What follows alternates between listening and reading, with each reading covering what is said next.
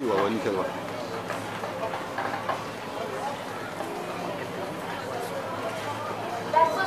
269 Life Libération Animale est ici ce soir pour vous inciter à refuser de passer les portes d'une enseigne qui fait commerce de la cruauté envers les animaux.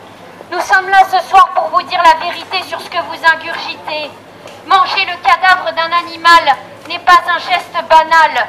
Nous vivons dans le déni pour ne pas voir que derrière chaque morceau de viande se cache un animal. Hop, hop.